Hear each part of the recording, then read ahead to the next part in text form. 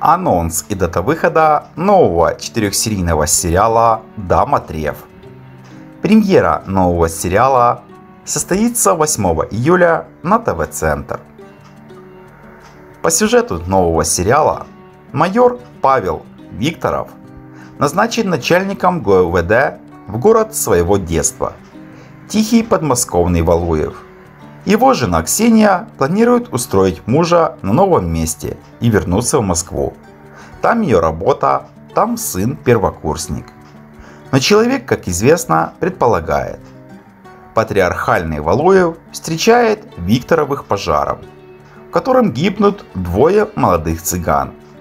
Местные правоохранители говорят о несчастном случае. Цыганский барон об убийстве, которое, как обычно, не будет раскрыто. Расследуя с помощью Ксении это дело, Павел обнаруживает тайную криминальную жизнь Валуева, продолжающегося не одно десятилетие. От идеи гостевого брака Ксении тоже приходится отказаться.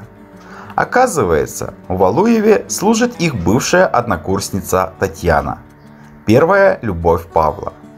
Сразу не разобрать, чего Татьяна хочет больше – вернуть Павла или втянуть честного полицейского в темные дела.